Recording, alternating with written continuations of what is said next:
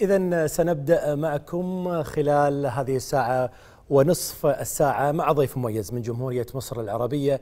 ومثل ما قلنا في المقدمة يا حياك الله معنا أستاذنا العزيز وزميل رامي رضوان. يا أهلا وسهلا. فرصة سعيدة جدا وسعيد بوجودي معاكم دكتور طالب وريهام. وبحيي المايسترو على يعني التميز العظيم ده. واليوم هذا أهداء لك ترى اليوم. العزف حسيت. الأغاني مقصودة. آه يا هلا فيك وحياك الله بين أهلك وناسك.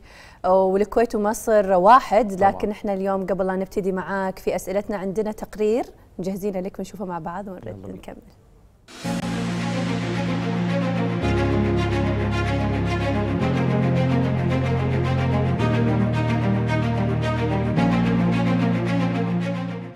الإعلام المصري رامي رضوان نجح في حجز مكان له وسط ساحة مليئة بالبرامج والوجوه الإعلامية فذلك تحد يبدو صعبا على كثير من أبناء المهنة. رامي نجح في استمرارية البقاء في المشهد بتجاوز لمراحل متلاحقة من إقصاء مذيعين واستبدالهم بآخرين.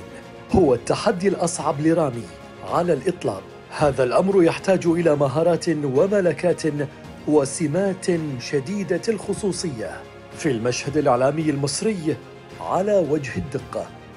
لم يعد الظهور على الشاشة بوابة الشهرة والمنافسة والبقاء بقدر ما تحتاج الاستمرارية إلى توازن إعلامي في علاقته وملامسته لنبض الشارع مع معدل ذكاء مرتفع وشجاعة استثنائية. وهذا ما يميز ضيفنا اليوم الإعلامي رامي رضوان. يا حياك الله معنا في عسيف.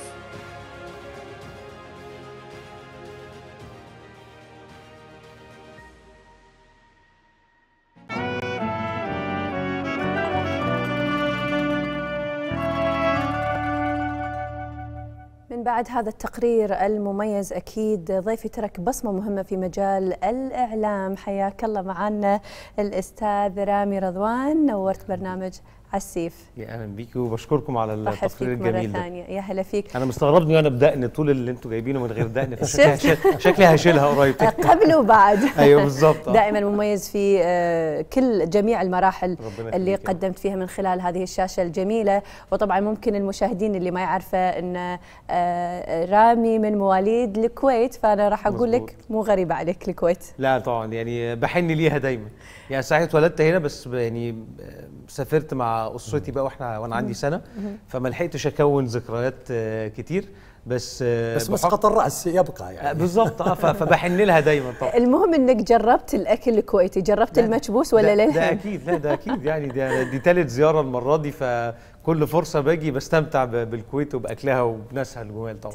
جميل. اليوم ودنا ناخذك من محور إلى آخر الأمانة. مو عارفين نبدي من وين.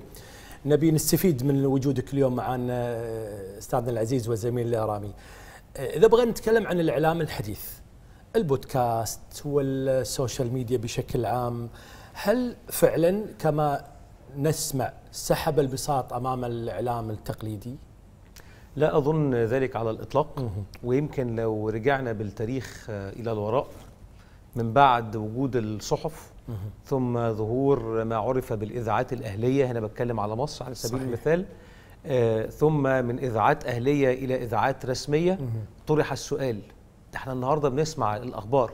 مين اللي هيقرأ الجرايد تاني؟ صحيح. بس الجرايد طورت من محتواها ففضلت مستمرة إلى أن ظهر التلفزيون فالناس انبهرت بيه جدا. وبدأوا يتساءلوا طب إحنا بدل ما كنا بنسمع وبنقرأ ده إحنا بنشوف. فإذا هذه الوسيلة الجديدة هتقتل الإذاعة وتقتل الصحافة لكن. ولم يحدث ذلك. صحيح. السؤال طرح أيضا مع ظهور السوشيال ميديا وتوحشها بقى بشكل كبير وبقت جزء رئيسي من حياتنا. هل السوشيال ميديا هتلغي الإعلام التقليدي؟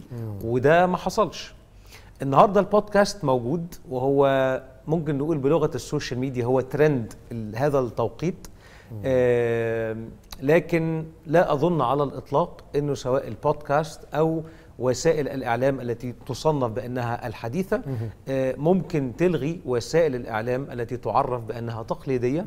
إلا إذا في حالة وحيدة ده ممكن يحصل إن لم يتم تطوير المحتوى الإعلامي الذي يقدم من خلال وسائل الاعلام التقليدية. وخصوصا بإنه لازم يبقى دايما من الجمهور المستهدف شريحة الشباب. صحيح. صحيح. لأن هم أكثر المستخدمين لوسائل التواصل الاجتماعي واللي جزء منهم اتعود بطبيعة الحال مع التكنولوجيا والمنصات الرقمية اللي موجودة اللي بقت تخليهم يتفرجوا على اللي هم عايزينه صحيح. في الوقت اللي هم عايزينه للمدة اللي عايزينها. كل الحاجات دي كلها لازم نحطها في الاعتبار وإحنا بنقدم صحيح. محتوى من خلال سواء التلفزيون أو الإذاعة أو حتى في الصحف المقروءة. جميل. قبل لا أبتدي سؤالي ممكن إنك تخوض هذه التجربة ولا ليه لا؟ تشوفها صعب؟ لا ليه لا؟ ليه زي لا؟ ما بالظبط خضنا كلنا تجربة السوشيال ميديا وبقينا. موجودين عليها. تجربة البودكاست آه، يمكن آه، أحب اخدها لكن أنا قريت فيها شوية الحقيقة عشان أتعرف عليها أكتر. و... وأثناء رحلة تعرفي عليها بدأت أشوف النماذج الموجودة في المنطقة العربية. ولقيت إنه أساس البودكاست حينما ظهر في الولايات المتحدة الأمريكية من من أكثر من 20 سنة هو بيميل أكتر إلى إنها إذاعات تخصصية. فعلى سبيل المثال لو كنت رائد أعمال وفي نفس الوقت بعمل كمذيع فاذا هخصص البودكاست بتاعي للحديث عن ريادة الأعمال فقط. فك يعني ممكن نسميها إنها محطة إذاعية للحديث عن صحيح. مجال ريادة الأع- الأعمال. فبالتالي أي حد interested في هذا المجال هيروح لل channel دي أو البودكاست دي عشان طول الوقت هيبقى عايز يسمع عن هذا المجال. وقد يكون منوع. لم اراه في فيما اطلعت عليه في الولايات المتحدة الأمريكية لكن لقيت مصنف إما في رياده الأعمال في عالم البزنس في عالم البنوك في عالم الاقتصاد البورصة الرياضة الفن آه، السياسة وما إلى ذلك. لم أرى الصيغة اللي ممكن تبقى موجودة في بعض البرامج التلفزيونية مثلا إنه برنامج برنامج تلفزيوني في كل شيء. بيتحدث في القضايا السياسية والاجتماعية والفنية والدينية والرياضية وما إلى ذلك. لم أرى هذا النوع من البودكاست في الخارج لأنه البودكاست في الآخر هو فكرته إن هي ليست مذيع بيستضيف ضيف ولكنه اثنين أو أكثر يلتقوا معا في هذا البودكاست. للحديث في توبيك معين صحيح. ويدور فيما بينهم الحوار صحيح. فهي صيغة مختلفة عن صيغة الحوار التلفزيوني أو الإذاعي طبعا أكيد مختلف تماما لكن اليوم أنا إذا بسألك ما شاء الله نشوف على كثر كثرة القنوات المصرية آه، اليوم شلون الإعلامي يقدر يثبت نفسه مع هذا العدد الهائل ممكن نقول آه، سواء في القنوات أو في مجال الإعلام أنا يعني أعتقد وده نابع من تجربتي الشخصية إنه كل إنسان بيجتهد في مجال عمله و- ولكل مجتهد نصيب دايما لازم يركز في ال- ما تع- تعلمناه في دراسة الإعلام إنه أنا هطل على الناس النهارده ببرنامج. في أسئلة كتيرة جدا لازم أجاوب عليها قبل ما أطلع على الشاشة. واحد مين جمهوري المستهدف؟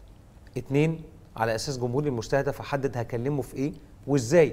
بأي لغة. هظهر ظهوري ليه. هيبقى بشكل عامل إزاي؟ يعني رامي رضوان في مساء دي أم سي كنت بلبس لبس آه وألوان. أنا راجل بحب اللبس ال- يعني أو بحب الألوان عامة. بحس إنها بتدي بهجة. لكن أول مرة طليت على الجمهور وبدأت أتحدث في الأمور السياسية والاقتصادية كنت أبلغ من العمر حينها حوالي 25 أو 26 سنة. فحطيت في دماغي عفوا مين جمهوري المستهدف؟ في في البرنامج اللي كنت بقدمه حين ذاك كنت عارف إن هو شريحة آه، كبيرة في العمر أكتر من 55 سنة. اذا وقتها حطيت في دماغي إن الجمهور هذا الجمهور اللي أنا هستهدفه هينظر إلى شاب عنده 25 سنة وهيتساءل مين الشاب ده اللي هيطلع يكلمني في السياسة وفي الاقتصاد وفي الشؤون الاجتماعية؟ إيه خبراته؟ وايه آه، إمكانياته؟ فلسه هيتعرف عليا لأن دي كانت صيغة التوك شو كان توك شو صباحي وقتها. كانت صيغة لأول مرة بقدمها بعد ما كنت بقدم نوعيات أخرى. فهنا قررت إنه وأنا شخصيتي بحب أهزر شوية. فقلت لأ في التوقيت ده لا مجال للهزار. صحيح. لازم أبقى جد جدا. آه كنت دايما لبسي الوانه داكنه عشان الجمهور وهو بيتعرف عليا لا ينفر لأنه لسه ما يعرفنيش إنما لما بعد وقت لما الجمهور عرفني بدأت أعود مرة أخرى إلى شخصيتي الطبيعية وألبس ألواني الطبيعية خلاص هو عارف مين رامي رضوان بيحضر شغله إزاي بيتكلم في إيه إزاي آه بيراجع شغله كويس بقدر الإمكان حرصا مني على إنه لما أقول للناس حاجة تبقى حاجة اذا. هذا كان مدخل ومفتاح استخدمته صحيح. بشكل ذكي لاستقطاب جمهورك في بداية الانطلاقة. آه، إذا بغيت أتكلم عن الإعلام المصري نعم. الإعلام المصري إعلام عريق وكيان يعني له خبراته وله مجالاته العديدة وايد آه، بلدان في المنطقة تعلموا من الإعلام المصري. لكن اليوم إذا بغينا نحلل ونقيم الإعلام المصري آه، السقف علو السقف الإعلام المصري ال- ال- المواضيع المسموح فيها أو مسموح بطرحها في الإعلام المصري هل هي مريحة لكم كمقدمين أو نوعا ما مكبلة لاياديكم في بعض الأحيان؟ شوف أنا مش عايز أقول آه اننا مكبلون بشكل أو بآخر مم. لكن بطبيعة الحال في أي دولة في العالم كلما زادت مساحة الاستقرار كلما كانت حر... مساحة الحرية أكبر إنما النهارده إحنا في مصر شوف محيطنا عامل إزاي بالظروف ال- اللي موجودة مع الوضع الاقتصادي. بتضع بعض مش عايز أقول شروط إنما بعض الجايد لاينز اللي بتبقى موجودة نظرا لحساسية أنت. تضعها لنفسك. أنا أضعها لنفسي بطبيعة الحال والمؤسسات الإعلامية تضعها لنفسها. وهذا لا يعيب هذه المؤسسات طبعاً أكيد. لأنه هل يوجد مؤسسة إعلامية في العالم بلا ضوابط بلا جايد لاينز لا طبعاً. سقف الحرية فيها يعني مرتفع للغاية أو هذه. هذه حرفية العمل, العمل الإعلامي. أصلاً. طبعا طبعا. يعني هقول لحضرتك أنا كنت في ندوة مؤخرا وأحد الطلبة كان بيسأل إنه هل تقدر في موضوع أي موضوع تطلع تتكلم فيه؟ قلت له طيب ما بالك إنه في وقت ما في موضوع أنت منتظر إن أنا أكلمك فيه؟ ولكن الموضوع ده أنت منتظره مني وأنا ممكن أطلع أقوله لك. بس ممكن يصيب بلدي بضرر. صح. فادفع أنا وأنت الثمن فتقول طب هو ليه رامي طلع عمل كده؟ يبقى اذا الفلتر اللي موجود عندي لاعتبار إنه آه دي رسالة مهمة الجمهور عايز يعرفها بس قد يكون ليها رد فعل سلبي على بلدي وعلى أولاد بلدي. يبقى اذا في اللحظة دي بالرغم من بطبيعة عملنا الصحفي بنبحث دائما عن السبق إلا إنه في حسابات بتحسب للمصلحة العامة. فما أقدرش أقول إنه إن إحنا مكبلين بس أقدر أقول إنه هناك قدر آه، كبير من التحديات على المستوى الأمني مع الأحداث التي تحدث في محيطنا على المستوى الاقتصادي فبالتالي بتزيد من حجم ال ال مش عايز أقول القيود إنما الضوابط بشكل أو بآخر. والمسؤولية. بالطبع بطبيعة الحال. آه، جميل. آه، اليوم رامي إحنا نشوفك قدمت آه، في قنوات مختلفة ومشوار طويل في مجال الإعلام. والبعض يقول أن رامي دائما يبحث عن الجرأة وعن قضايا مهمة وفضائح الناس.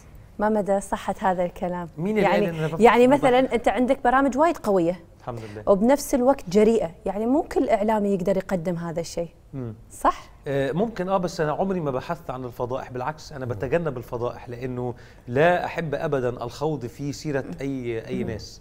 فمن يدعي ذلك؟ عليه بالدليل. صحيح. إنما آه، جرأة في الطرح ممكن يعني قصدهم إنه ممكن إنه يكون جريء جدا يعني. يشوفون فيه ممكن الجانب هذا. الجرأة إلى المستوى التي أضع المطلوب. لها حد له علاقة بأنه هذا البرنامج يدخل داخل البيوت المصرية وبعض البيوت العربية. فإذا في حدود لمستوى الجرأة. يعني ممكن نقول الشيء المسموح حق رامي يمكن مو حق غيره مسموح اللي تقدر أنت تقدم فيه. ما أقدرش أقول كده.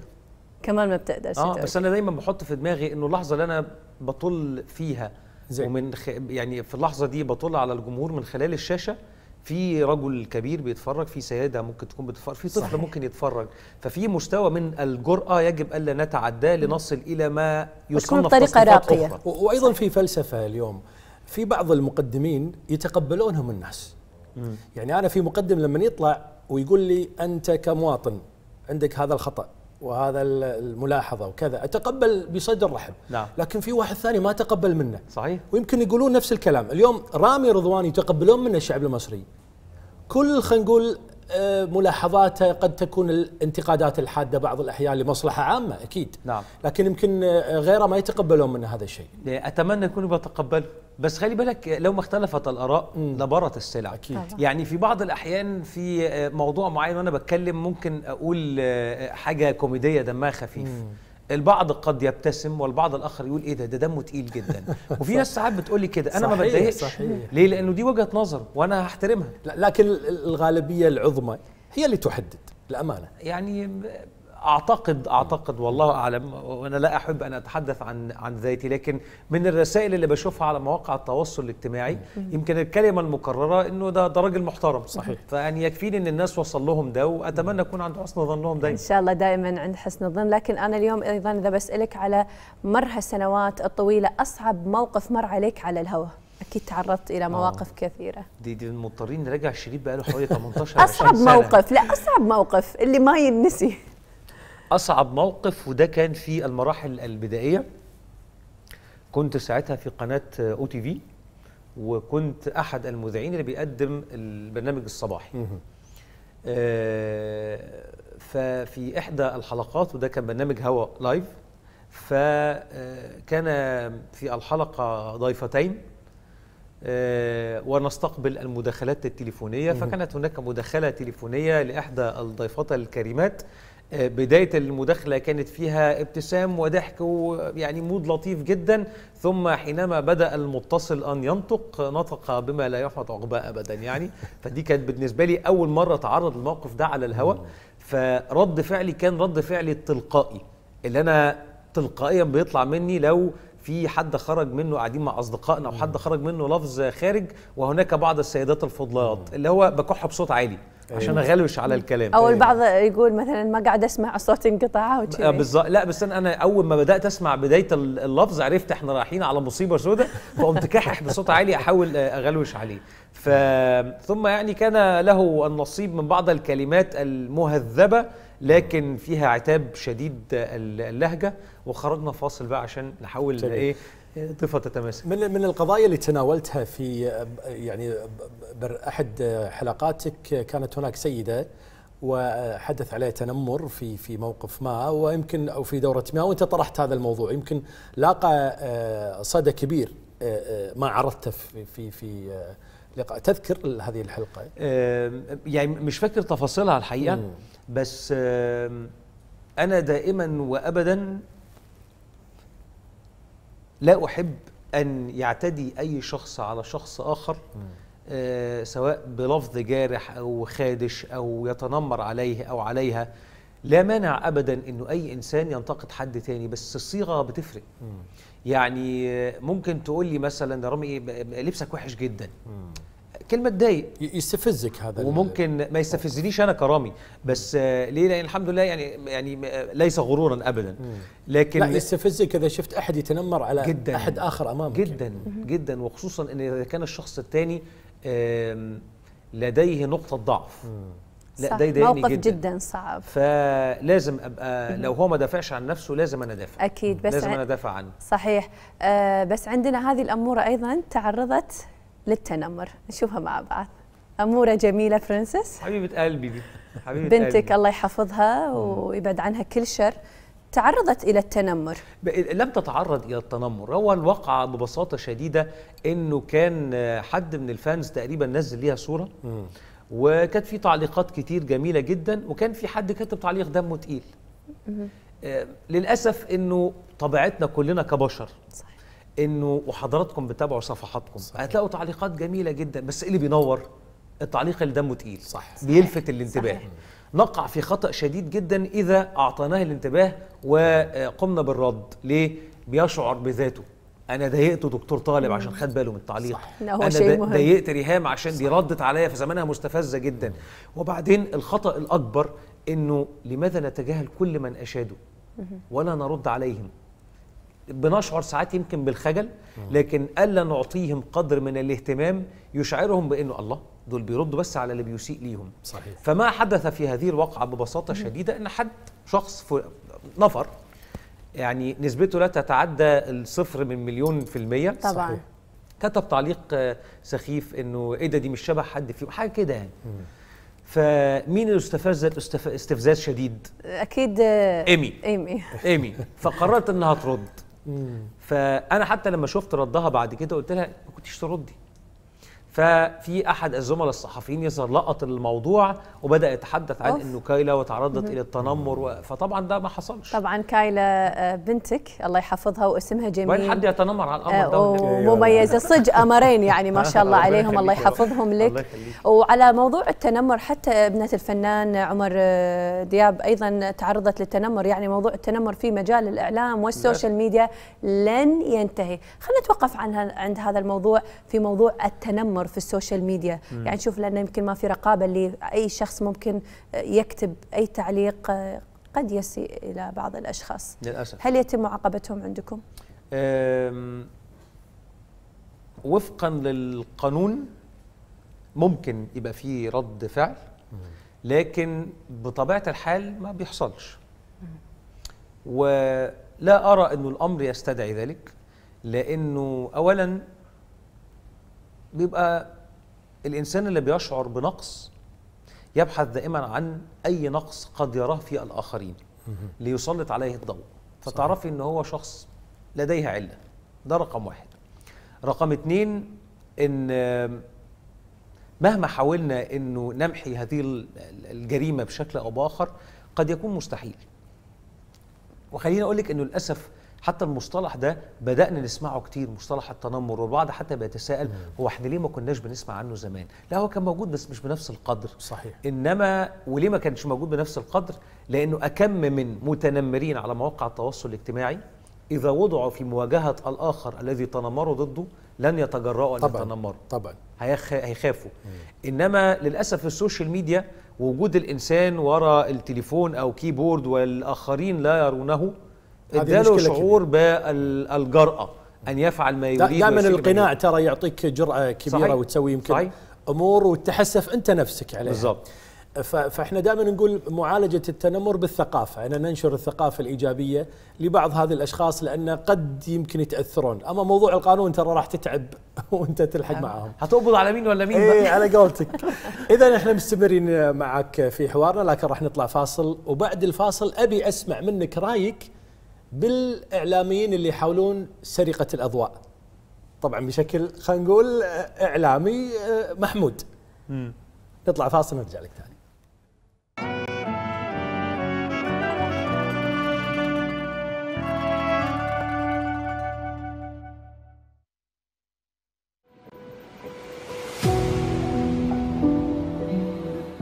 اليوم مع تطور التكنولوجيا صارت العمليات وايد أسهل وأبسط والتعامل مع المريض خلال عمليته وبعد عمليته شيء جدا مهم.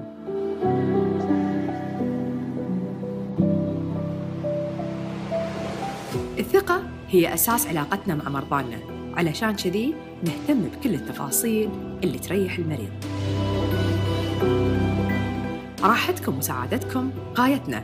فإحنا كطاقم طبي وإداري في مستشفى السيف معاكم في مركب واحد وإبحر برعايتنا.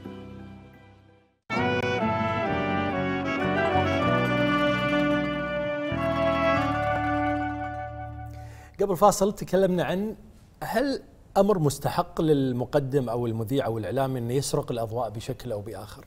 توقعناش في الغلط بقى دكتور طالب بقى. بمعنى إيه السرقه من الآخر؟ إنه يجتهد ويحاول يصنع scoop أو إنه يبدع في صياغة رسالته الإعلامية آه، يحق لي. لا بأس. إنما هل يحق يحق لي إن هو يجتهد عشان آه، ينجح أكتر في عمله؟ إنما في إطار ال competition المنافسة إذا كان ده هيعمله من منطلق إنه يحاول يكسر الآخر فلا يصح. يعني فين شرف ال- ال- ال- المنافسة؟ صحيح.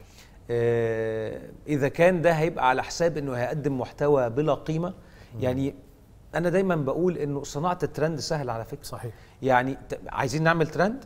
تعالوا نتخانق مع بعض دلوقتي. صح. هتلاقوا الحلقة بتاعتكم بقت ترند صح. بس قدمنا إيه للمشاهد؟ صحيح. لا شيء. إنما دايما أنا بقول إنه شغلانتنا صعبة على فكرة. وليه صعبة؟ لأنه لما بنحط في دماغنا دايما إنه ضميرنا يبقى صاحي وإحنا بنصيغ رسالتنا الإعلامية للجمهور إنه الكلمة اللي بنقولها دي ممكن تؤثر في الإنسان بشكل كبير جدا. فربنا يا رب يقدرنا دايما إنه الكلمة اللي نؤثر بيها نؤثر بشكل إيجابي. صحيح.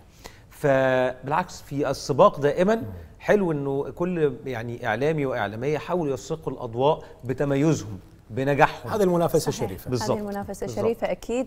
طبعا راح ننتقل شوي موضوع مختلف تماما عن علاقة حب جميلة مع أهم نجوم في الوطن العربي وللأمانة تركوا بصمة جميلة في قلوبنا. رحمة الله عليهم وعسى الله يرحمهم الفنان القدير سمير غانم وأيضا الفنانة القديرة آه، دلال عبد العزيز. رحمة الله عليهم. ومثواهم الجنة. شنو كانوا يعنوا لك؟ لا حاجة كبيرة جدا جدا. يعني القدر اللي أنا شفته من الحب والود والحنية آه، مش بس في آه، يعني كان الحمد لله إن كان ليا نصيب من ده إنما لكل اللي حواليهم الحقيقة. ف يعني حقيقة أنا كنت بشوف إن هم ملائكة. آه، و- وما كنت أعلمه من خير بيعملوه اكتشفت أضعافه ما شاء الله. بعد بعد رحيلهم. ولذلك يعني ربنا يا رب إن شاء الله يجمعنا بيهم في الجنة آه، آمين. مع رحيلهم. وحب الناس أنا بشوف إن دي نعمة كبيرة جدا من ربنا وعلامة من علامات رضا ربنا آمين. على العبد. آمين. فبعد رحيلهما آه، كم الرسائل التي لا تتوقف إلى يومنا هذا من الجمهور ليا ولدنيا والإيمي والحسن ده بيقول إنه يعني يا رب يكون ربنا راضي عنهم. ميزان ما أعمالهم شاء إن الله شاء الله اسال الله. يرحمهم ويغفر لهم يا رب. خلينا. نشوف هذا الفيديو ونرجع لك تالي أهم حاجة في البرنامج ده التفاؤل والأمل والمعلومة الدقيقة ودي أهم حاجة. طب أنا هتفلسف ليه وأتكلم على البرنامج ومذيع البرنامج موجود؟ رامي! منورنا والله. حبيبي. لا والله ده ده انت منور كرسي 8 الصبح. أنا ما كنتش حاضر أقوم. زي ما حضرتك قلت البرنامج ده قائم على الأمل والتفاؤل والمعلومة الدقيقة. حبيبي. تذكر هذا اللقاء. طبعا طبعا. آه، من خلينا نقول المواقف الجميلة اللي جمعتك أمام الشاشة. نعم. يمكن يمكن هذا أول ما أدري أول موقف؟ ده أول لقاء؟ لينا تلفزيوني. نعم ودي كانت أول حلقة للبرنامج مع انطلاقة القناة. الله. آه. فيعني طبعا مع انطلاق القناة دي ام سي ودي كانت أول حلقات برنامج 8 الصبح اللي بدات كنت مع دي ام سي فإن تكون الطلة الأولى بوجود أستاذ سمير غانم ده كان شيء آه، عظيم جدا جدا الحقيقة. وخلي بالك كمان إحنا بنتكلم على أستاذ سمير غانم نجم المسرح. صحيح. فيعني حاجة كبيرة جدا جدا إنه ده برنامج بيبدأ الساعة 8 الصبح. اي ما شاء الله. يكون موجود معانا في الفقرة الصباحية كان شيء عظيم يعني. إحنا يمكن في أمور نعرفها آه، آه، من خلال مشاهدتنا لمسلسلات وأفلام ومسرحيات آه، الفنان القدير عسى الله يرحمه سمير غانم. لكن في أمور أكيد ما راح نعرفها إلا من خلالك. نعم. علاقتك كعائلة اليوم شنو كان يخفي هذا الرجل الطيب صاحب الأخلاق العالية اللي ما ترك أحد زعلان منه نهائيا. والله هتصدقني لو قلت لك إنه أستاذ سمير غانم الذي تعرفونه من فنه هو بالضبط أستاذ سمير غانم في الحياة عجيب ما شاء الله. يعني الحس الفكاهي حاضر ما شاء الله. الطيبة حاضرة ما شاء الله. ف يعني هو مش شخصين. في بعض النجوم بحكم الشغل فأنت بتراه بشخصية ولكن في يعني مثلا كان هناك بعض بدون ذكر أسماء بس بعض الفنانين الكوميديين من الزمن الجميل زمن الابيض وأسود تسمع من اسرهم إنه يقول لك ده كان جد جدا في حياته. ده كان آه، بيبقى آه، يعني آه، عنيف شوية مع في تربية آه، أبنائه. آه، لا أستاذ سمير غانم ما كانش كده. كان حنون وهو واضح جدا عليه جدا الحنية. وطيب جدا ويرى الجميل في كل شيء. ولم أراه أبدا يعني هتسأله عن شخص الناس كلها بتنتقده هيرى فيه شيء جميل وهيذكره ولن ينتقده لن يسيء ليه. يعني لم يذكر أي شخص في الحياة إلا بكل الخير. شوف بقول لك لدرجة إنه ممكن يكون في شخص الناس كلها بتنتقده فتقول له شفت ده بيقولوا على فلان يقول لك آه بس خلي بالك ده في كذا. فما شاء الله ربنا كان مديله إنه بيرى الجميل في كل إيه شيء. تبارك الله. أكيد أكيد. وأيضا هنا سؤالنا كان نبي نسألك عن الفنانة القديرة الله يرحمها آه، دلال عبد العزيز في آخر فترة طبعا انسحبت آه، من مجال الفن آه، وممكن أقدر أقول لك هنا نوعا ما متى هنا يكون الفنان أو الإعلامي في فترة معينة؟ يتم الانسحاب في هذا لا هي ما المجال انسحبتش لا كانت آه، يعني ابتعدت كانت شوية. لا لا كانت موجودة كانت موجودة لحد آه، يعني فترة بس ال- المرض طبعا خلاص بقى في مرض إنما لحد قبل المرحلة دي بالعكس كانت بتصور يعني فلا لم تنسحب على الإطلاق كانت آه، آه، بس متواجده كانت مقلة مو نفس قبل كانت أعمال أكثر وكذا كانت أكيد تعبانة بطبيعة. الحال أي فنان في مرحلة من صحيح. حياته بي بيميل أكتر إلى الانتقاء صحيح. في أدواره بدل ما يبقى موجود بشكل يعني منتشر في, في أعمال كثيرة يعني. فلا بالعكس لا كانت كانت موجودة وما شاء الله كانت عاملة أدوار كتير جدا كانت معلمة من مع الناس بشكل آه، كبير. ويمكن كان آخرها مجموعة من الأدوار اللي الجمهور كله كان بيقول إحنا حاسين إن إحنا بنتفرج على على أمنا. يعني كان ده بسبب مدى قربها من من الجمهور ما شاء الله يعني. الله يرحمها ويغفر لها. للأمانة كان اللي يميزها فيها محبة وحنية وطيبة. جدا. أنا اليوم صعب أقول لك منو كان الحنون أكثر ولا المحب أكثر بينها وبين زوجها. ده ده ده سؤال صعب جدا. إيه فأحس لأن الاثنين على كفة الميزان واحد. ولو يعني قلت لكم من هنا لبكرة مدى حنيتهم وطيبتهم لن يرحمه. حقا. والله للأمانة واضحين وواض- وواضح الشيء على تربية آه، بناته. لكن إحنا الحين محضرين فيديو بنشوفه مع بعض ونكمل. مش عايز اطول أكتر من كده عشان ما يبانش ان أنا متحيز قوي لمراتي يعني نجمة الكبيرة دنيا سمير غانم. دنيا منورانا يا دنيا. ميرسي والله مش عارف اسألك. في إيه بصراحة. هديكي هديكي. فرصة ما حدش خدها قبل كده. آه. آه اسألي انت إيه رأيك؟ أسأل أنا. آه تحبي تسألي في إيه؟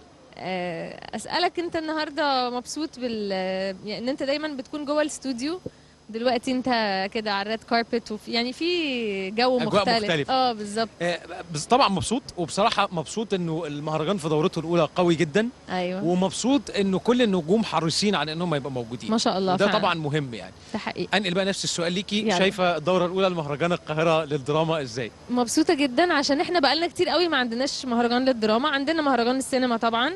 عندنا كذا مهرجان سينما لكن مهرجانات الدراما بقالنا كتير ما عندناش مهرجان قوي يعني للدراما فمبسوطة إن الدراما رجعت تاني يبقى ليها مهرجان وكده ونهتم بالمسلسلات.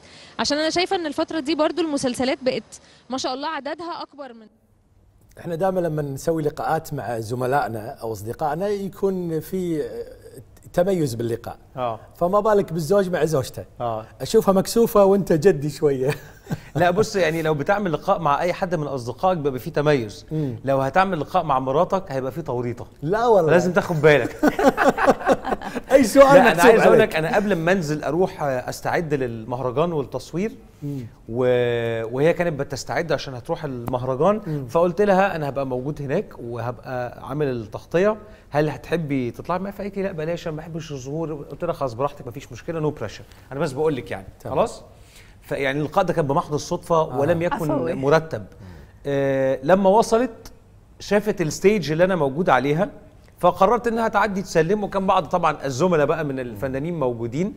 وبعدين آه، بعد ما خلصت لقاء فقالت لي أنا ممكن أعمل لقاء. قلت لها يا سلام ده, ده انت. اتطورت. أهلا وسهلا. بس فيعني كان فعلا لقاء عفوي وما كانش فيه أي حاجة مترتبة لا ما يعني. شاء الله عليك تسألها ولا في إن هي زوجتك يعني. أنا اقتنعت انه ما في علاقة بقى. جد بقى يعني. فعلا بروفيشنال زوجتي دي في البيت هنا مع فنان. اليوم بسألك آه، الفنانة الجميلة والرقيقة والحنونة اللي دائما حتى على الشاشة هذا الشيء واضح. اليوم آه، كزوجة إيش كثر هي مهتمة فيك في برامجك في ال look في اختياراتك. هي حبيبتي. ملهاش في السياسة خالص والحاجات الاقتصادية وكده. فيعني لما بتتفرج عليا بتبقى بتكلمني على شكلك شعرك مش عارف إيه الكلام ده كله. إنما تفاصيل ال content اللي بتكلم فيه it's not to her interest خالص. يعني لما بعمل فقرات فنية آه بتقعد تتفرج ممكن. فدي المساحة اللي فيها بقى بنقعد ندردش. إنما ما دون ذلك الأخبار والسياسة والاقتصاد والحاجات دي بالنسبة لها يعني Chinese يعني مش is not interested فيها بس خالص. بنفس الوقت أنت تشوف أكيد أعمالها وهي تشوف برامجك. ما يكون في بيناتكم انتقادات ولا؟ طيب أنا في نفس الوقت بشوف أعمالها. يعني ما هل أجرؤ ألا أشاهد أعمالها يا ريهام؟ حد حد في مكان يجرؤ لا طبعا لا طبعا بتفرج وببقى لما يبقى في؟ عمل هي هتبدأ تصوره بن- ساعات بن- بنقعد ندردش في تفاصيله وبتاخد رايي وكده. ولما بتفرج أكيد طبعا بقول لها رأيي صريح معاها ولا طبعا بعض طبعا صريح معاها؟ صراحة المحب إنه دايما عايزها تبقى بس عادة. الرجاله يتحملون الانتقاد من نسوانهم بس النسوان العكس لا ما يتحملون الم- اذا كان في عندك انتقاد تتحمله هي آه لا بندردش فيه. إيه. آه بس هو في المطلق النسوان لا يتحملوا أي نقد. اي بالضبط. زين اليوم ليش ما استغليت هذا الثنائي ما بينك وبين المدام؟ في ظهور آه، لبرنامج معين.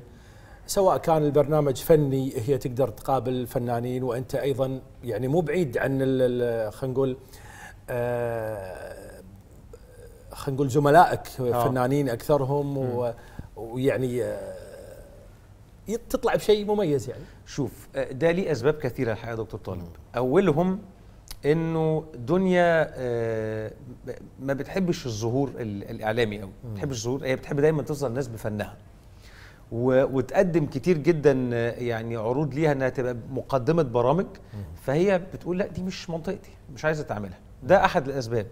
بس السبب الرئيسي لو بتسألني على ده من ساعة ما ارتبطت بدنيا في لحظة قراري بالارتباط كنت أعلم علم اليقين إن بعض الناس هيبقى عندها وجهة نظر إنه آه ده رامي بيرتبط بدنيا عشان الناس تعرفه أكتر. أو ده عايز يمثل. أو طب ده هيعملوا برنامج مع بعض ولا لأ؟ أنا زي ما بدأت مساري في مجال الإعلام بلا أي علاقات دون أن أعلم أي أحد وشقيت طريقي بنفسي آه، حتى من ساعة ارتباطي ودنيا أنا عمري ما قلت لحماتي أو لحماية أو لدنيا أو لإيمي إن أنا عايز أستضيفهم. لأن حبيت إن أنا أكثر عند اللي هيظن ذلك فكرة إنه رامي هيعتمد على آه، عيلته عشان الناس تتفرج أكتر. خلاص؟ في اللحظات اللي كان فيها استضافات والله ما كانش مقترح مني. يعني لقائي مع أستاذ سمير. آه، لما عرف إنه خلاص القناة هتبدأ والبرنامج بتاعي قال لي ولو تحب أطلع معاك في أول حلقة. فمجرد انه اقترح ده طبعا أنا مسكت فيها على طول. يعني ده, ده شيء يشرفني ويسعدني. صحيح. إنما ما ما ما- ما جا- ما جاش الاقتراح مني أنا عشان ما حبيتش ابدا إنه الناس تحس إني بأقحم أسرتي في عملي عشان أنجح بيهم أو أنجح من خلالهم. ده شيء يشرفني إن أنا أستضيف أي حد فيهم يعني. وكذلك على فكرة بالمناسبة على ال social media. لا أظن اللي بيتابعني على ال social media بيشوف إن أنا بعتمد على أسرتي بشكل كبير جدا وبنظهر معا كثيرا وما إلى ذلك. فيمكن صحيح. دي الأسباب اللي خلتني ابدا ما جاش في دماغي فكرة إنه أعمل برنامج أنا ودنيا مثلا على سبيل وممكن المثال. هذا الشيء اللي يميزك أتمنى الحلقة. أتمنى. اليوم أيضا إذا بسالك عن علاقتك مع الفنان حسن الرداد وزوجته إيمي سمير غانم اليوم هم في مجال الفن يعني ما طرحوا عليك إيش رأيك نسوي مثلا برنامج أو فكرة معينة؟ لأن هم قدموا برنامج آه، مشترك آه، بينهم. مظبوط. لا وحسن دلوقتي كمان ما شاء الله عنده برنامج على إم بي سي يعني مكسر ال- الدنيا. آه لا ما ما جاتش والله فكرة إن إحنا نعمل برنامج مع بعض. يمكن قد تكون لنفس الأسباب أو يمكن ما جاتش فرصة إن إحنا آه، نعمل ده. ومين عارف يعني يمكن نعمل ده في, في المستقبل. المستقبل, الله أعلم. بس كذي إذا أنتوا التميتوا على العشاء ولا على غدا ولا كذا ما في سوالف غير الإعلام والفن وال... لا لا خالص بالعكس إحنا وإحنا قاعدين مع بعض ما بنتكلمش في الإعلام خالص. كلش. آه آه. شاء الله ممكن عزيز. نتكلم في الفن شوية طبعا بحكم الأغلبية. يعني هو في إعلامي واحد وثلاث فنانين. فتفتكر هنتكلم في أي إيه صح. في الأغلب بنتكلم في الفن. أو بقى بنقعد نهزر مع بعض وكده. مم. جميل جميل. اليوم آه، لأي مدى المحاور وليس المذيع اللي عنده برنامج آه، وينتقي بعض الأفكار وبعض المواضيع ويطرحها. قد تكون لارائه مجال أو مدى لكن اليوم إحنا كمحاورين الآن معك. لأي مدى أنا أستطيع أن آه، آه، أعبر عن رأيي في قضية معينة؟ هل فعلا لازم أكون محايد ما أتكلم ولا أعبر عن رأيي ولا أن الآن الإعلام تغير لي الحق ان أنا اليوم أعبر عن رأي معين. آه، قد أختلف معك برأيي وأقول لك هذا وجهة نظري. لي الحق في ذلك؟ طيب الكتاب بيقول إيه؟ كتاب الإعلام. ABC إعلام؟ إنه لا ما نقولش ارائنا هل يستطيع أي منا كبشر أن نكون على الحياد التام؟ ده شيء مستحيل. لكن نستطيع في صياغة رسالتنا الإعلامية إنك بتطرحها بطريقة غير مباشرة. صحيح. لكن يجب أن نكون مهنيين. بمعنى إنه لو هتكلم بلغة كرة القدم يعني والأندية المشهورة عندنا في مصر الأهلي والزمالك أنا ميولي أهلاوية. إذا تميز الزمالك النهارده في مباراته ضد فريق آخر لن أشيد بيه؟ بالعكس هأشيد بيه. آه إذا أدى الأهلي أداء سيء لن أنتقده؟ لا هنتقده. فالتوازن والمهنية تحتم علينا دائما أن نجتهد في هذا الطريق أن نكون مهنيين بأنه أنا ممكن أقول لك الحقيقة كلها وممكن أقول لك نصها عشان صحيح. أوجهك دوري إن أنا أقول لك الحقيقة كلها بس بطبيعة الحال وإحنا بنصيغ الحقيقة دي مشاعرك وأحاسيسك وتعبيراتك هتدي سيجنالز كده للمشاهد فتعرف أنت مبسوط هنا ولا مش مبسوط أنت مع ولا ولا ضد فهي هتوصل بشكل صحيح. أو باخر. لكن هل دورنا بقى إن نطلع أقول للناس أبيض وأسود؟ ده حلو وده وحش؟ لا مش دورنا. آه. لأن مين قال إن أنا صح؟ ما إحنا بشر برضه في الآخر. طبعا أكيد. فإنما دوري إن أنا أجتهد في إنه أقدم له المعلومة الكاملة اللي تقدر تخليه هو يكون وجهة نظر. صحيح. صحيح. آه، طبعا رامي اليوم نشوف آه، يعني الأغلبية في البرامج والقنوات المصرية تاخذ قضايا الطلاق بالأخص المشاهير مادة دسمة. هل تشوف هذا الأمر حق مشروع؟ يعني لازم يتكلمون فيها ولا تشوف الموضوع جدا عادي؟ ليش حالهم حال أي شخص عادي يتم الانفصال بينهم؟ آه، This is a very critical issue لأنه أنا هدعي إن ما فيهاش صح وغلط. آه، رامي رضوان مدرسته إيه؟ دي حياة خاصة عمري ما هتكلم فيها. يعني انفصلوا آه، اتجوزوا هفرح لهم وابارك لهم. انفصلوا هتمنى لهم الخير. بس إنما مش هتكلم على تفاصيل وأجيب حد ويشتم في حد عمري ما هعمل ده.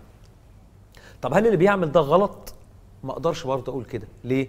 لأن إحنا ال social media بقت مسيطرة على حياتنا بشكل أو بآخر وإحنا كإعلاميين هي جزء من شغلنا. فبالتالي في بعض الإعلاميين بالنسبة لهم إنه آه أنا هتكلم على ال topic ده عشان it's trending على ال social media. فاذا الجمهور عايز كده. صحيح. لكن أنا مدرستي الشخصية إنه طبعا دائما هألبي اللي الجمهور عايزه بس مش كله. طبعا من فترة أو تقريبا من يومين آه، البرنامج الجميل آه، صاحبة السعادة أو صاحب السعادة للفنانة القديرة آه، سعاد يونس اللي أنا أحبها وأموت فيها كانت مستضيفة الفنانة الجميلة ياسمين عبد العزيز. ياسمين عبد العزيز. فسبحان الله ما كانوا يبون يتكلمون عن موضوع الطلاق فأول ما جابت الموضوع انهارت. يعني اليوم هذه المواضيع إيش كثر حساسة في ال social media وللأمانة اللقاء كامل بس أكثر مقطع اللي صار ترند ونسبة المشاهدة فيه مخيفة هذا الموضوع. صحيح. طيب تعالي بقى نشيل المقطع ده من المعادلة ومش موجود في الحلقة. الناس كانت هتتفرج ولا لأ؟ كانت هتتفرج. أكيد. بس الحتة دي ليه؟ هي الناس بتحب الحاجات. ال spicy دي. فهو مستني. وبعدين أصل حالة الانفصال اللي حصلت مش من بعيد قوي. فالكل لما عرف بظهور ياسمين مع مدام إسعاد بقى مستني يشوف هي هتتكلم على الحتة دي ولا طب ولو اتكلمت هتقول إيه؟ والفيديو هينزل وتلاقي بعض الصحف قالت لك شاهد قبل الحذف ياسمين عبد العزيز والحاجات دي كلها. الناس بتحب ال spices دي. بس في الآخر خلينا نفكر أو نبص كده ب eagle eye shot. النهارده لما موقف زي ده وهي تتطرق له وتتحدث بشأنه ولو طلت على التعليقات مش يمكن التعليقات يبقى فيها حاجات سخيفة تبقى فيها خوض في صحيح. الحياة الخاصة تبقى بوظت الموضوع اللي ممكن يكون هينصلح خصوصا إن ما شاء الله يعني كلاهما ياسمين وأحمد كلامهم على بعض طيب جدا حتى ما بعد الانفصال. صحيح. فأقصد إنه دي حياة خاصة. طبعا. بعض الناس وجهة نظرهم كإعلاميين بيقول لك طالما أعلن من الفنانه الانفصال على ال social media يبقى هو اللي إدى كارت إن إحنا نقدر نتكلم في الموضوع ده. عشان كده لما بقول الموضوع ما أقدرش أقول فيه صح وغلط. إنما هي وجهات نظر. بس هو لازم يعلن هذا شيء طبيعي يعني. ليه؟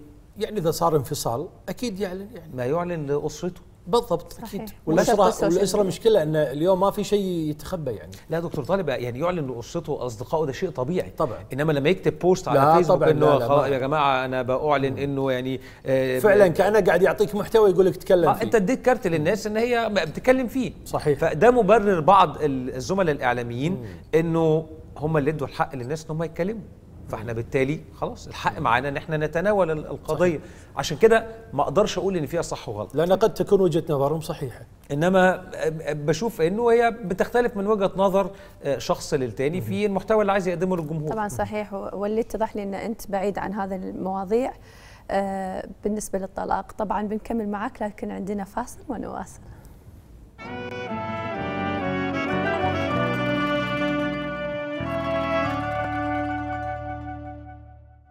ونكمل معك رامي اليوم دعم الزوج جدا مهم وأنت من يعني كنت من بعد مسرحية انستونا كنت جدا حريص إنك تدعم دنيا برسالة عبر الإنستغرام. آه، مش بس في انستونا والله كل عمل ببقى بحاول أشجعها فيه. وليس مجاملة ولا رياء ولا مين يشهد للعروسة إنما ما شاء الله دنيا بتجتهد في شغلها بشكل كبير جدا. آه، بتحسن انتقاء آه، أعمالها بتبذل مجهود خرافي. آه، يعني آه، حتى دكتور خالد جلال مخرج المسرحية كان دائما في ختام كل عرض بيقول إحنا حضرنا وعملنا بروفات إنما دنيا كانت بتعمل بروفات لوحدها وبتحضر آه، شغلها لوحدها بتعمل شغل زيادة يعني. فأقل شيء طبعا مع كل المجهود ده إن أنا يعني صحيح. آه، أقول لها احسنتي وابدعتي والغريب للأمانة من بعض الردود اللي تستكثر عليك انك انت تمدح مراتك في عمل آه. أنا ما أنا أنا ما أعرف شنو المعادلة يعني يعني ب- ب- بص يعني ما- ما بشوفش آه، نقد لاذع في القصة دي أي. بس بشوف آه، بعض الجمهور نظر غريبة. بيهزر اللي هو آه طبعا من يشهد للعروسة والحاجات دي أنا بشوف أي. إن دمها خفيف بالعكس لا, بس تصدق رامي اليوم دعم الزوج دعم جدا مهم والكلمات الطيبة هذه تغرس محبة أكثر في العلاقة الزوجية ده حقيقي وأنا بشوف كمان إنها بتدي نموذج طيب طبعاً. للناس إنه لازم الزوج يدعم الزوجة والزوجة تدعم آه، زوجها وكلاهما يدعموا بعضهما البعض كده وربنا يوفقهم في حياتهم متابعين هالشيء أيضا؟ ترى يأثر يعني فيها رسالة إيجابية. صحيح. لكن دنيا كانت في آخر تصريح لها آه تقريبا آه، في برنامج يمكن بودكاست ذكرت قالت إن رامي آه زوجي مثالي بزيادة. آه بدرجة مستفزة. هي ما قالتش كده ده بس بكمل لها الجمله آه، مش مش مثالي بزيادة ولا حاجة لا يمكن آه، يعني كلنا بنحاول نبقى آه، نقدم ال- الفيرجن الكويس من نفسنا. صحيح. لكن طبع المثالية اللي بتقصده ده يمكن طبع بسبب برجي. أنا برج العذراء. وبرج العذراء للأسف من ضمن مميزاته slash عيوبه إنه بيحاول يعمل كل he's perfection seeker بيحاول يعمل كل حاجة كويس. فهو بيعمل كل حاجة كويس بيبقى بيتعب نفسه وبيتعب اللي حواليه في بعض الأحيان. بس هي كملت وقالت إنها بدأت تكسر فيا الحتة دي شوية. صدقني أستاذ رامي لا برج العذراء ولا غيره. آه. تربيتك. آه طبعا. وبذرتك الطيبة وأخلاقياتك والقيم اللي أنت علمت نفسك عليها وتربيت عليها هي اللي خلتك بهذه الأخلاق وهذه المثالية. أكيد بتبقى من العوامل المؤثرة فعلا اليوم إذا بغينا نتكلم عن الإعلام. نعم. الإعلام العربي بشكل عام وبعدين نحدد مثلا إعلام في جمهورية مصر. وين إحنا في عن الإعلام الغربي اللي قد ينافسنا ومرات يتكلم بنفس اللغة العربية ويبدي يطرح بعض الأمور ويحاول أن يفسد خلينا نقول ثقافتنا سواء العربية والإسلامية. إحنا ويننا؟ هل إحنا على أرض صلبة وأقوياء؟ جدا. مم. جدا. إحنا على أرض صلبة وأقوياء. قد يكون الفارق الوحيد في الإمكانيات التكنولوجية قد يكون. ده موجود بالفعل. إنما في آه، صناعة المحتوى إحنا أقوياء جدا. في نوعيات البرامج المختلفة إحنا أقوياء جدا. يمكن كان في من العوامل المؤثرة شوية اللي كان موجود سابقا ولكنه انكشف وانفضح لكثير من العامة. كان في البعض بيظن إنه الإعلام في الغرب لا لا لا ده محايد أكتر ومساحة الحريه هناك أكبر إنما يعني الفترة اللي عدينا بيها دي كلها سواء صحيح. الأحداث اللي بنتمنى تنتهي على خير قريبا يعني لأشقائنا بإذن في. فلسطين وغزة تحديدا آه، اللي كشفت العوار اللي موجود في الإعلام الغربي وقد صحيح. إيه انه كان scripted وفي كل interview تلاقي المذيع عمال يركز على do you condemn حماس وسايب كل المواضيع ال- الأهم للنقاش آه، وما قبل ذلك أثناء الانتخابات الأمريكية وهنروح بعيد ليه؟ الانتخابات الأمريكية جاية في نوفمبر الجاي وهنشوف ال- الصراع الإعلامي اللي هيبقى موجود. فكانت ال- كان البعض ساعات بيظن لا مساحة الحرية هناك موجودة مش موجودة في المنطقة العربية. لا كل وسيلة إعلامية في العالم لها ضوابطها. صحيح. والضوابط دي بتبقى بتحكم الرسالة اللي بتصاغ. الضوابط دي اللي هي البعض بيطلق عليها أيضا أجندة القناة التلفزيونية. آه، فلا إحنا على أرض صلبه وأرض قوية ويزداد بريق إعلامنا العربي جميل. بثقة جمهورنا أكتر في ما نقدمه من محتوى والتخلص من عقدة الخواجة لأنه عقدة الخواجة ترسخت في بعض الأجيال لفترة صحيح، صحيح. فبدأ اللسان يتعوج وتلاقي اللغة العربية بقت أضعف واللغة الإنجليزية بقت بطلاقة صحيح، وبيتابعوا الإعلام الغربي أكتر ويمكن برضه بحكم الأفلام الهوليودية وشطارتهم في إنتاج هذه الأعمال بتبقى جاذبة مع المنصات اللي موجودة زي مش عايز أقول عشان ما تبقاش إعلانات بس يعني كلنا عارفين المنصات اللي موجودة دلوقتي فهم أقوى انتاجيا في المحتوى السينمائي ممكن نقول ده. أقوى تكنولوجيا في المحتوى أو بيبقوا سابقنا بخطوة في المحتوى الإعلامي لكن على مستوى الكونتنت ونوعية البرامج و و والانتشار لا إحنا على أرض صلبة جدا في المنطقة العربية بالفعل. والله صراحة من بعد كلامك يعني ما شاء الله عليك تكلمت كل اللي انذكر لكن اليوم أنا ذا بسألك يعني من خلال خبرتك وأنت في مجال الإعلام وبعض الزملاء دائما تشوف بعض الإعلاميين يعتمدون أنه ممكن على المعدين إنه هو يكتب الأعداد هو بس مجرد يقدم وفي لا بعض الإعلاميين هو اللي يحضر وهو يكتب الأعداد وهو اللي يسوي الإنتاج وهو كل شيء عليه نعم. التحضير الكامل اليوم تشوف من خلال هذه يعني هذا الجانب والجانب الثاني. إيش كثر مهم للاعلامي التحضير وليس الاعتماد على الإعداد فقط؟ طيب النموذجين اللي قلت عليهم بيميلوا بالنسبة لي أكتر إلى الخطأ. ما بقولش إن هم خطأ كامل. إلى و- الخطأ ولا الخطر؟ إلى, إلى الخطأ. الخطأ. يعني لا ده صح ولا ده صح. فريق الكورة. فريق الكورة.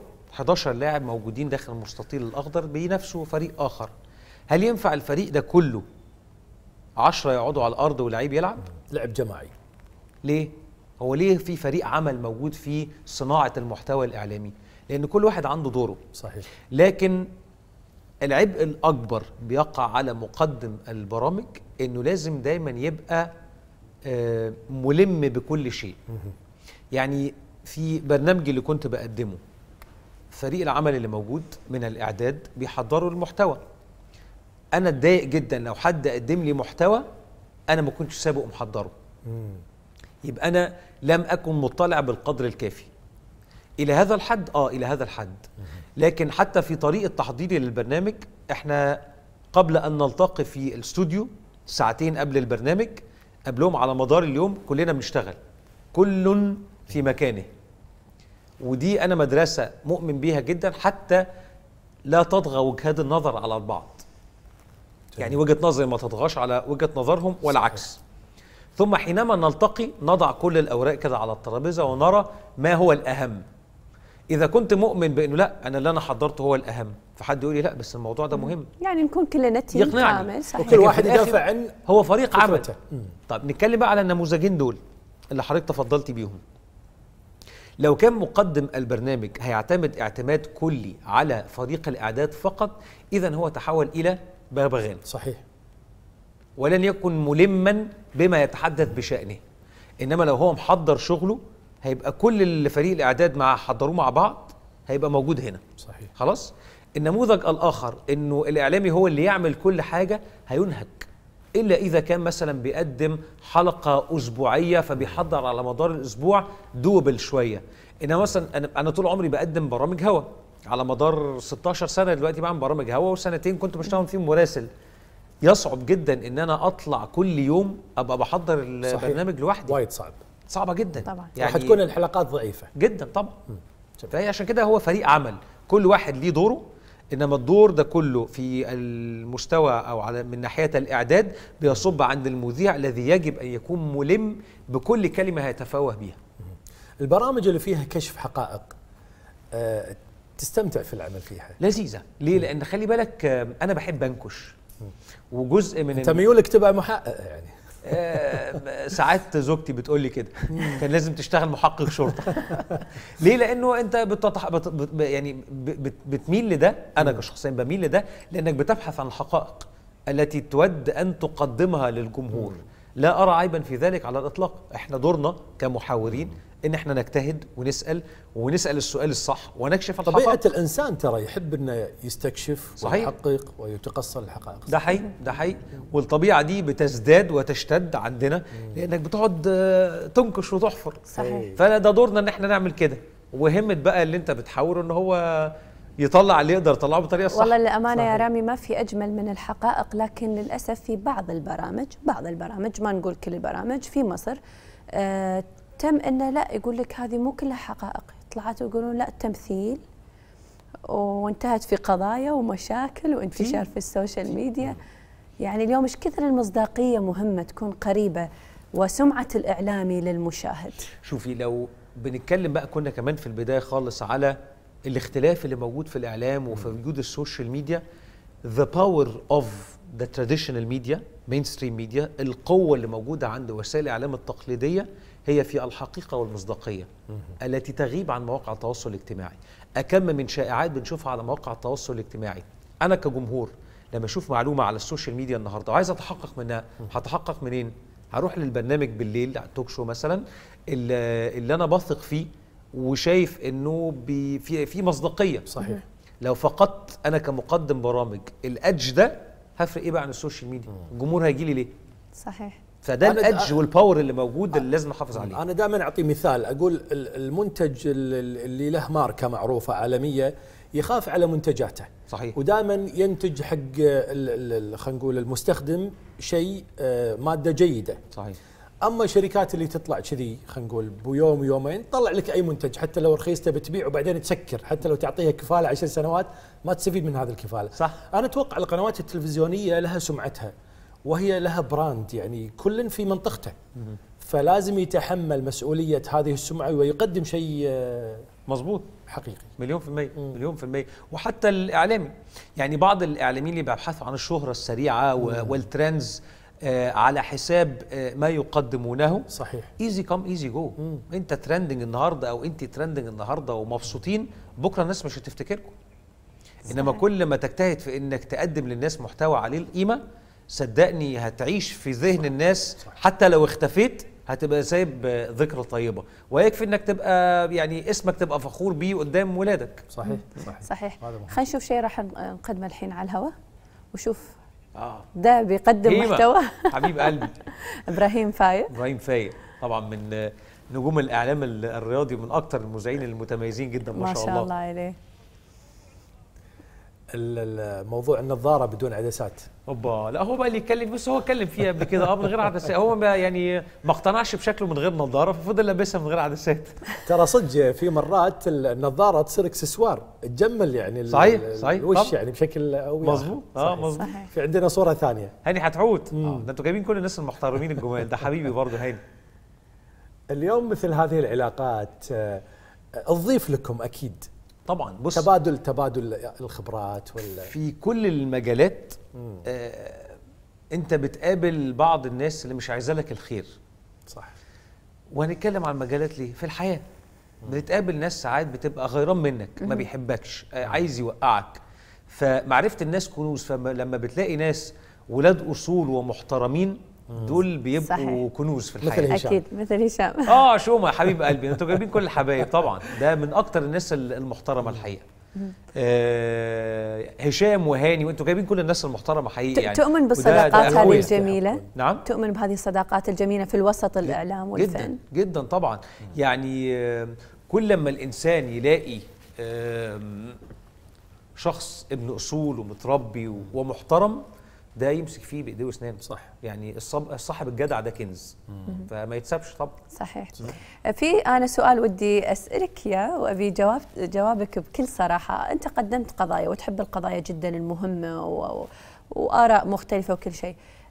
في قضية للحين ودك تقولها أو تطرحها في برنامج وللحين مو قادر أنت تقدم؟ آه، في بعض الأحيان بنتعرض ل ما تقدر. إنك في موضوع عايزة تتكلمي فيه ومش قادرة تتكلمي فيه. وممكن تكوني مش قادرة عشان ما ينفعش دلوقتي وممكن تكوني مش قادرة علشان آه، قد طرح الموضوع ده قد يكون ضرره أكثر من نفعه وممكن يكون عشان جايد لاينز المؤسسة اللي بتعملي فيها بتعملي فيها بترى إنه ده هذا الموضوع ليس للطرح الآن. صحيح. حتى نتذكر في هذا الموضوع أيام كورونا كنا نطلع هواء كل يوم تقريبا. نعم. في بعض الملاحظات كانت تصير على المؤسسات الحكومية. ما كنا نتكلم عنها بانتقاد. نهائيا كنا ناخذ الجانب الإيجابي لأن اليوم إحنا في مأزق نعم. وفي محنة وفي مشكلة يعني وفي جائحة. صحيح. المفترض أن نوقف وندعم كل هذه المؤسسات وفعلا نجحنا في هذا الموضوع. كل الإعلام سواء الحكومي أو الخاص. لين ما خلصنا هذه الجائحة بعدين يا دورنا نتكلم على بعض الملاحظات وبعض الانتقادات. لازم الاعلامي يختار وينتقي متى صحيح. ينتقد ومتى آه، التوقيت يشد من ازر التوقيت ما فيش شك بيفرق. هدي لك برضو نموذج وانت ذكرت يعني نموذج طيب جدا فترة كورونا. إن كان في بعض الأحيان بيبقى في لوم من الجمهور على إنه أنتوا ما بتقولوش أرقام الوفيات الحقيقية بالرغم صحيح. من إن إحنا بنقول اللي موجود في البيانات الرسمية صحيح. قد ترى المؤسسة الصحية إنه لا نريد الإفصاح عن حجم أكبر حتى لا نصيب الناس بهلع بالضبط. فإذا في بعد إنساني صحيح. في الموضوع في بعض الأمور اللي بتتحكم في أمور زي دي إنما في الآخر أنا دوري كإعلامي إنه هلتزم بالبيانات الرسمية في ناس ساعات تقول لك إيه لا آه سيبك من البيان الرسمي المعلومة الحقيقية كذا طب أنا أصدق المعلومة اللي موجودة على ال social media منين. بالضبط. إيه مصدرها إنما أنا كراجل بقدم برنامج ما أقدرش أخرج بره إطار لو هتكلم عن شيء ليه مؤسسة رسمية فإذا علي لا الالتزام وفي أبعاد صح. لا يفقهونها يعني صحيح صحيح ودائما في الفترة الأخيرة فعلا أي أخبار كانت تنتشر عن طريق ال social media يعني ما في أحد يسمع لها إلا من المصادر اللي هي الرسمية أو من الق- القناة الرسمية نعم. اليوم قبل لا أختم معك وأخذ منك آه، رسالتك الأخيرة اليوم إذا بنوتك الأميرة الجميلة ودها تتجه في مجال الإعلام أو التمثيل راح توافق ولا لا؟ هي ما فيهاش أو مبدئيا يعني ليه؟ لأنها راحت للتمثيل. أكيد. راحت خلاص. هتتفرج على باباها وبيقول حاجات دمها تقيل فبتتفرج على فن بتنبسط. ف آه، لا مش هرفض طبعا بس يعني في ضوابط. يعني هي ظهرت آه، مرة مع مامتها في مسلسل جاد سليمة في مشهد آه، ومفيش مانع إنها ممكن تظهر مرة تانية مع مامتها بس مش هتبدأ تحترف ده دلوقتي يعني لو جه حد مثلا مخرج بيقول لي إحنا عايزين كايلا في دور لا ما, ما أعتقدش إن أنا هقبل دلوقتي آه، مسارها التعليمي يكمل صحيح. ولها حرية و- بقى والشهرة في هذا العمر يعني م- مخيفة تق- نوعاً ده حقيقي. بس عايز. أقول لك إحنا بقت المعاناة عندنا كلنا كأولياء أمور بغض النظر صحيح. عن. أي نوع من الشهرة ما انت في شهرة على ال social media دلوقتي. و followers كتير وتيك طبعاً. توك والحاجات دي كلها ف it's a very big challenge يعني صحيح. للتربية في الوقت الحالي دائما المؤتمرات بعد ما تنتهي آه، ينتظرون توصيات هذا نعم. المؤتمر اليوم الإعلامي مثل آه، رامي بعد هذه الخبرة وهذه خلينا نقول الاحتكاك والمواقف اللي مريت فيها وتقديمك لبرامج عديدة شنو اليوم التوصيات اللي تقدر تطلع فيها للمجتمع العربي؟ ماذا يقول رامي لهم؟ يعني في ظل ما نراه من بيحصل على السوشيال ميديا هتبقى توصيتي إنه أرجو من كل مستخدمي مواقع التواصل الاجتماعي أن يحرصوا على الد- دفع ال trends في اتجاه ما له قيمة. أها. لأنه أكم من trends تحصل على أشياء تودي في داهية. تودي في داهية حقيقي. وبعضها إذا نقلته في برنامجك التلفزيوني سترى الناس تلومك. صحيح. على إنه إزاي بتنقل الموضوع ده؟ طب يا جماعة ما أنتوا عملتوا كده. أنتوا اللي عملتوا كده كجمهور صحيح. على السوشيال ميديا. صحيح. صحيح إن جمهور السوشيال ميديا ممكن يختلف عن جمهور التلفزيون شوية إنما آه، يعني ما أتمناه حقيقي إنه دائما وابدا مستخدمي مواقع التواصل الاجتماعي كل من يروا فيما يقدمه آه، في أي مجال بذرة نجاح إنه يسقوها مية. ويدعمونها. عشان بذرة النجاح دي تكبر وتنبت ونبقى فخورين بيها. صحيح. وكل ما يرون أنه بذرة فاسدة لا تشاهدونه ولا تعطونه قيمة. حتى لا تج- تكبر هذه البذرة الفاسدة وتنتشر داخل المجتمع. فدي صحيح. يعني توصيتي.